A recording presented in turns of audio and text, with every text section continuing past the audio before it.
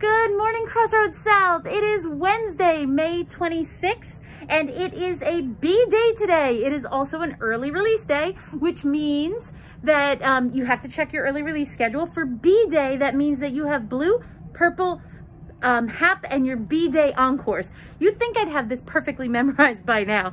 Um, today for Student Council is also Jeans Day. J is for jeans. So hopefully you have your jeans on today, um, even though it's going to be really hot. But Jeans Day it is. And tomorrow is K. K that they have as kindergarten day. So, you know, I was trying to think, what does kindergarten day mean?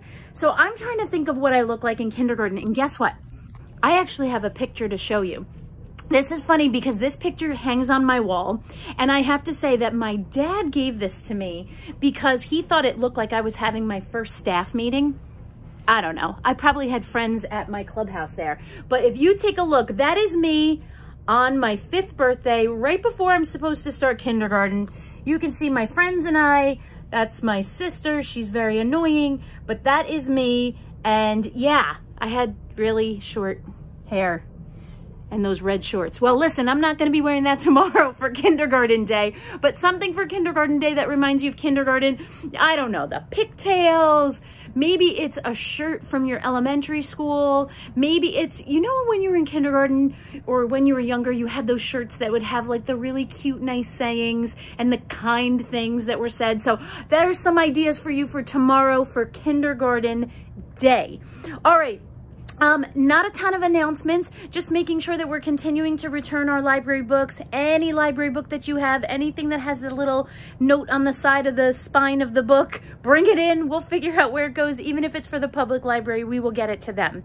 Um, I also want to say that this morning I started um, my day with the most special moment. Um, bright and early this morning at about 6.35, our orchestra students came in and about 7.15ish, they put on a concert for the first time in a year and four months, a concert. It was awesome. Thank you so much to Mrs. Marchioni and all of our orchestra students who played this morning. The concert was lovely. If you're one of those students, you know that I was like crying because it was amazing to hear our musicians back together again. There are some things in this world that you can do by yourself and some things that you can do through a computer. And then there's some things that you can't. You need to be together as humans.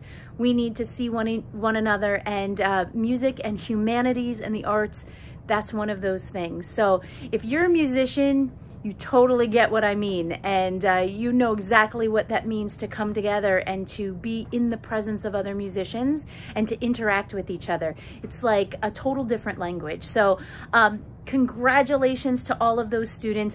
I know our band students are excited because there's more coming up and they have um, a plan for a music share too. So um, I just want to say thank you to everybody that made that possible. Really, really special morning. So congratulations. All right, to everybody else, I hope you have a wonderful early early release day. Please don't forget that tomorrow is a full day and then Friday we have off from school and we have a very long weekend for Memorial Day. So that concludes my announcements for this morning. Please stand for the salute to our flag. Here we go. I pledge allegiance to the flag of the United States of America and to the republic for which it stands, one nation, under God, indivisible, with liberty and justice for all. All right, folks, you may be seated. Have a fantastic early release B-Day Wednesday. Check out that bear. Talk to you later. Bye.